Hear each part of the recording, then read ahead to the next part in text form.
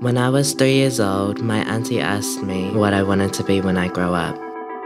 I said a girl. I've always known who I am. Kia ora, my name is Phoenix. I'm 15 years old. My pronouns are she and her, and I live in Ruakaka, a small town near Whangarei. I live with my mum Raywin, my stepdad Jim, and my baby brother Eduida. I go to Bream Bay College where my mum also teaches te. This Friday is our senior school ball. It's the first time I can really express myself in front of the whole school. When I was 13, I told my mum I was trans. I've always known that I've always wanted to be a girl but I think I presented myself as a girl after I took selfies with my friend and I looked more feminine in them. So I took this photo on the 3rd of March in 2019, probably the day that changed my life. I asked her like if it looked alright and then she's like, yeah. And then that's when I said that I looked like a girl and she said, You do. And then I was like, Maybe I should be a girl.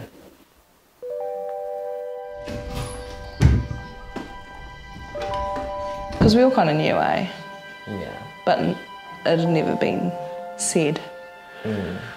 You know, I'm not going to lie, I was a little bit upset, you know, because you, you kind of you give birth to this child and it's you know a boy and blah blah blah and you have all these hopes and aspirations.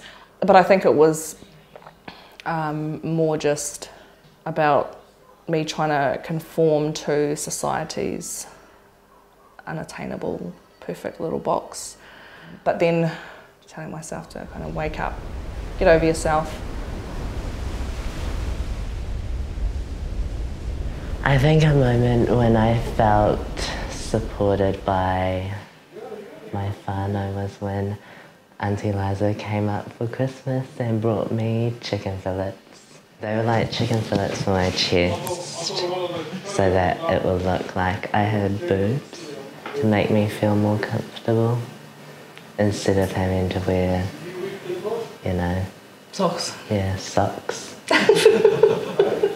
Because I remember whenever we used to go to town, I'd like do this. Like I'd put my arms like that in my chest and walk around town like that. Why? Because I don't feel comfortable not having anything under there.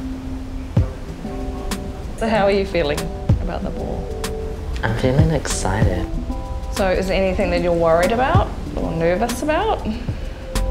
Probably my feet being sore. You're not worried about anyone's reactions or? No, not really. Cool, that's good. We're all good. Is this like a little bit light for you? That's way light.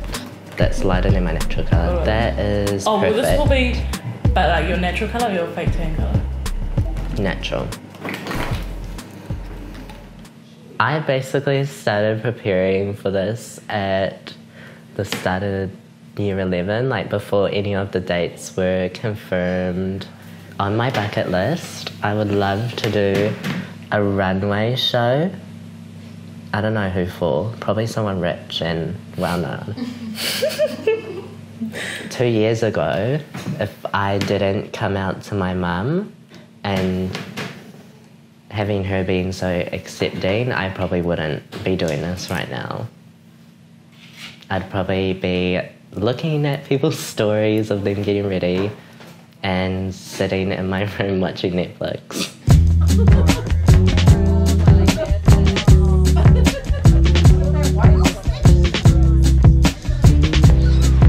In high school, I think I started hanging out with the tough people, and then now they're like long term friends.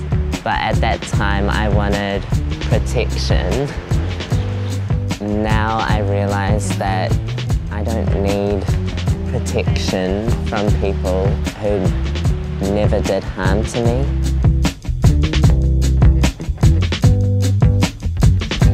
Yeah. Lead me to my own devices